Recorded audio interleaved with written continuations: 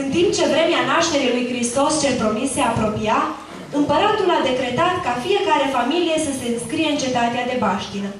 Pentru a îndeplini acest decret, Maria și Iosif, bărbatul căruia era promisă, au pornit spre Betleem.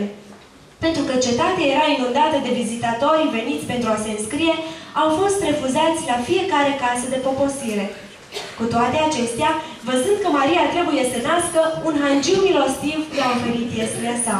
Și în timp ce ei erau acolo, acest copil, fiind atât creator cât și promisul rege, s-a născut în această așezare, în mijlocul propriei sale creații.